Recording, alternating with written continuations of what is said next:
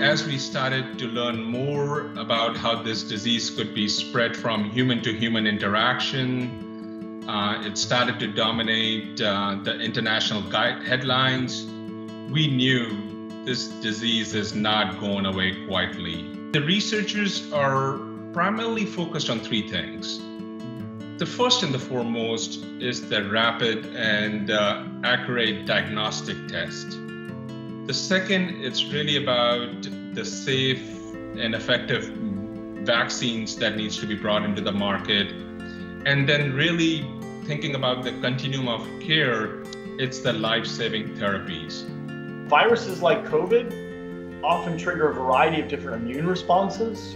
Here at BD Biosciences, we really focus on understanding the immune response or the body's response to that infection. And that's really important as we think about where we're going for the development of vaccines to you know prevent you know future spread of the virus as well as an understanding how that disease progresses and ultimately then how we can intervene with drugs and therapies to treat patients that are infected with the virus. A vaccine is ultimately you know a way to develop your immune system to to fight this virus in the future. So it's critically important that we have these tools to understand that immune response. I've been very impressed and inspired how our customers have gone about in, in COVID 19 in their research.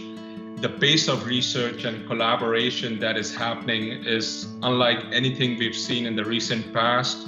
You know, in the research settings, our teams have been partnering with uh, the different uh, members of the research community to help increase and advance our understanding of this virus.